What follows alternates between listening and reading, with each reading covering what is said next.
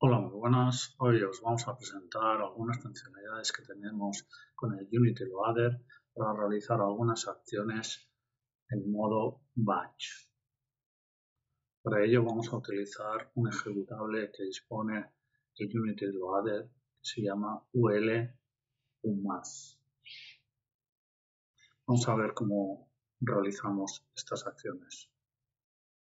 Nos hemos creado una carpeta donde disponemos de diferentes programaciones. Para el primer ejemplo vamos a recuperar datos de un PLC que ahora mismo tenemos conectado.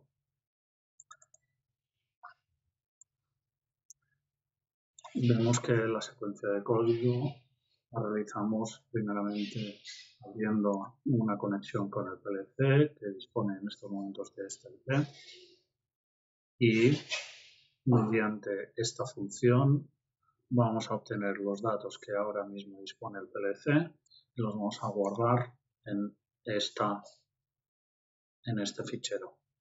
Cerramos la conexión y también cerramos lo que es la, el programa.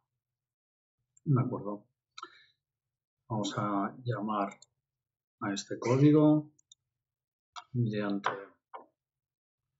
mediante uh, comando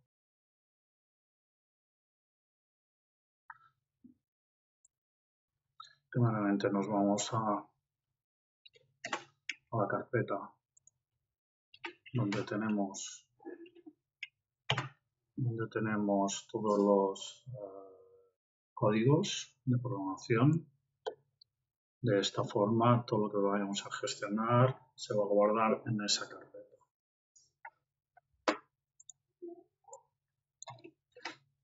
Introducimos este este path que consiste en primeramente localizar en Program Files el programa ya comentado, que se encuentra en la carpeta de Unity Loader, y posteriormente le realizamos la carga del fichero que hemos creado.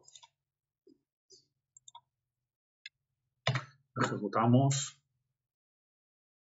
vemos que lo hemos generado perfectamente y aquí vemos el fichero de datos del PLC. Vamos a ver ahora cómo podemos recuperar el, programa en formato STA. Vamos a ver el código que presentamos. Nuevamente conectamos con la CPU. Mediante esta función recuperamos lo que es el programa. En este caso con este nombre y siempre con la extensión SDA. Se cierra y se cierra todo. Vamos a ver mediante comando cómo vamos a realizar.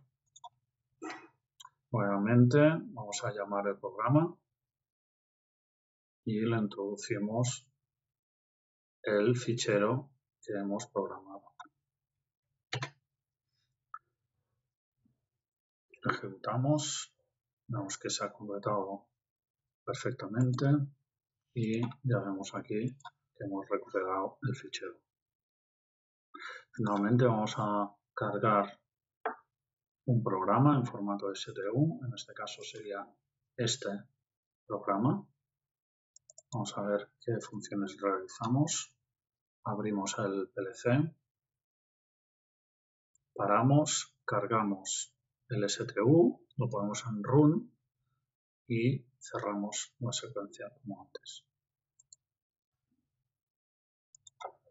Vamos a ver cómo lo gestionaríamos mediante comando. Es exactamente como las dos anteriores. Vamos a llamar a lo que es el programa y le cargamos el programa. Disculpad, el, el fichero de programación. Paramos el programa, el PLC, cargamos, esperamos que el PLC vuelva a su conexión. Ponemos en run y cerramos. esto ha sido todo. Muchas gracias. thank you